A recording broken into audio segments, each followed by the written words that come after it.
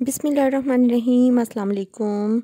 आज मैं आपको बताऊँगी कि नमाज़ में कंसंट्रेट करने की कुछ टिप्स चूँकि अरबिक में हमारी फ़र्स्ट लैंग्वेज नहीं है, इसलिए हम जो भी सूरतें अरबी में पढ़ते हैं, वो हमें उनका मतलब समझ में नहीं आता, जिसकी वजह से हम अपना वो ध्यान, जो नमाज़ में हमारा ध्यान है, इधर उधर चला जाता है।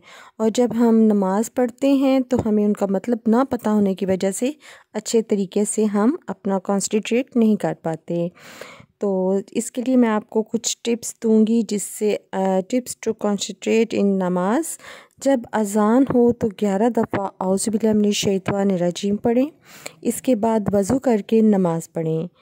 इसके बाद हमें ये भी कोशिश करनी चाहिए कि कुरान पाक जो है हम ट्राई करें कि हम इसको तर्जमे के साथ पढ़ें try to read translated Quran Majeed. नमाज़ पढ़ते वक्त इस बात का ख़ास ख्याल रखा जाए कि अल्लाह ताला आपको देख रहे हैं। इससे आपकी पूरी तवज्जो नमाज़ की तरफ़ होगी। अगर आपको नमाज़ पढ़ते वक्त कुछ वसवसे आएँ, शैतान नमाज़ में आपके दिल में वसवसे डाले।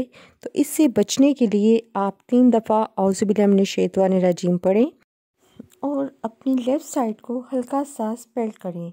तीन बार ऐसा करने से वसवसे ख़त्म हो जाएँगे और आपकी पूरी तवज्जो नमाज़ की तरफ़ होगी। नमाज़ पढ़ते वक्त जब हम ये ध्यान रखेंगे कि अल्लाह ताला हमें देख रहे हैं और जो सूरतें हम पढ़ रहे हैं नमाज़ में, उनका हमें तर्जमा भी आता होगा, उसके मीनिंग्स हमें समझ आते होंगे तो हम, हमारी पूरी तवज्जो नमाज़ की तरफ़ होगी और फिर हम लोग बहुत दिल से नमाज़ पढ़ेंगे।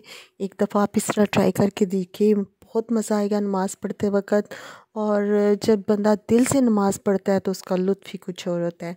इसके साथ ही मुझे इजाज़त दीजिए, वीडियो अच्छी लगी, मेरी ये बात आपको अच्छी लगी तो लाइक कर दीजिएगा, चैनल को सब्सक्राइब कर दीजिएगा। ओके जी, अपना बहुत सा ख्याल रखिए। ओके जी, अल्लाह हाफिज़।